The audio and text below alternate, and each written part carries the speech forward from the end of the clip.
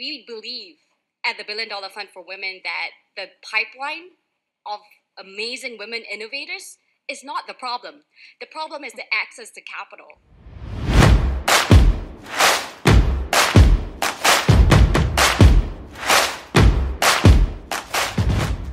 And if we believe that the future of technology and the future is yet to be written, we as the entrepreneurs that have reaped the returns, we as the investors have an enormous responsibility on our on our shoulders to continue to find these women and fuel them.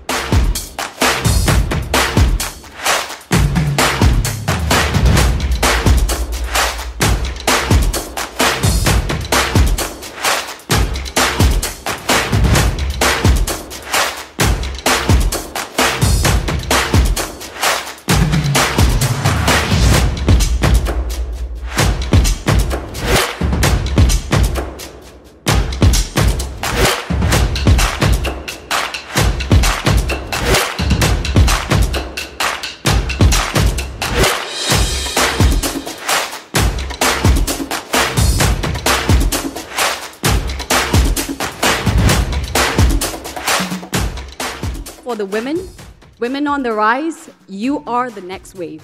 Do not underestimate yourself and always put yourself out there, even though it's scary.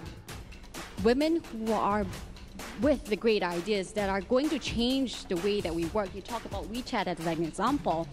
Alibaba had a co-founder, has a co-founder, Lucy Peng, that we don't even hear about. Ant Financial is something that, you know, she, she was very much um, instrumental in growing.